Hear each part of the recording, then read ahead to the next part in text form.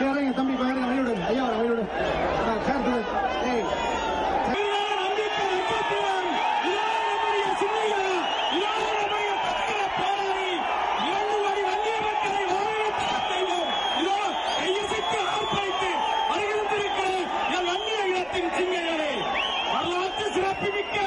எழுச்சி கொண்ட